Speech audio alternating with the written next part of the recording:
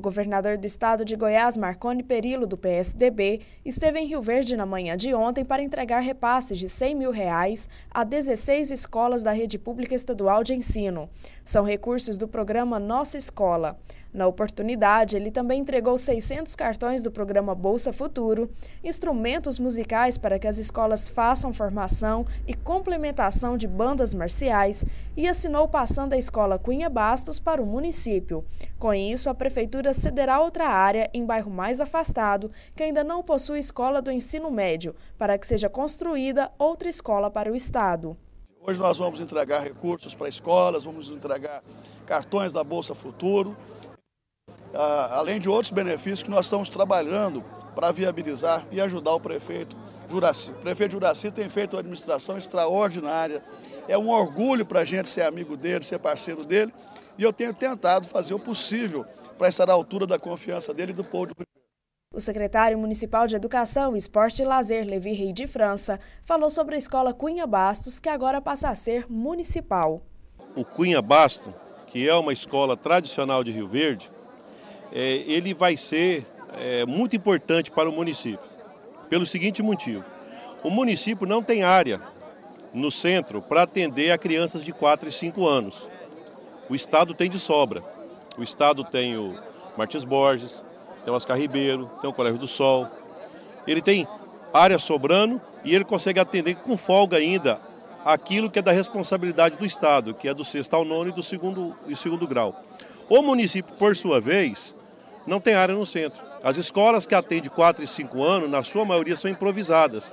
Assim como nós temos do lado do Cunha Basta a escola aplicação.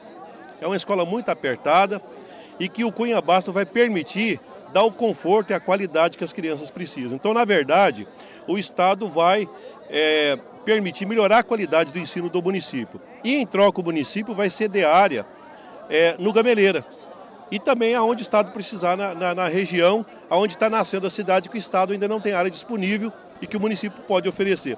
Então é uma parceria é, do Estado com o município, aonde os dois lados ganham. Na verdade, quem mais ganha é a população de Rio Verde.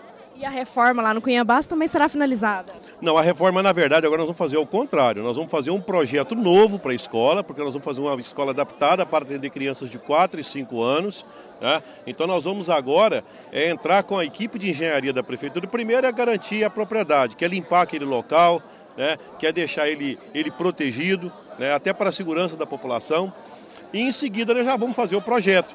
Um projeto de escola para o centro. E essa do Cunha Basso tem previsão de quando fica pronto? Olha, os projetos ficam prontos ainda esse ano. Agora é o ano que vem que ela vai, é, pela época, né? É o ano que vem que ela vai ser executada. Na oportunidade, Marconi falou do caso do bicheiro Carlinhos Cachoeira. Olha, eu fui à CPI, falei nove horas, expliquei tudo, mostrei que o goiano tem altivez, tem raça, tem coragem e tem a verdade. Acho que todas as pessoas que assistiram perceberam a convicção com que eu falei sobre todos os assuntos. Em discurso, Marconi lembrou que Goiás tem se destacado em todo o Brasil. O PIB, por exemplo, cresceu, segundo ele, 6,6%, oito vezes maior do que todo o Brasil, no primeiro quadrimestre deste ano. Ele também anunciou que voltará a Rio Verde para assinar as escrituras dos bairros Dom Miguel e Céu Azul, ainda este ano. As gestoras das escolas estaduais fizeram uma homenagem à secretária regional Deusmaura Vieira Leão, com direito a flores. O salão do DIMP ficou lotado e os alunos não esconderam a felicidade quando as gestoras receberam os benefícios da verba e dos instrumentos musicais.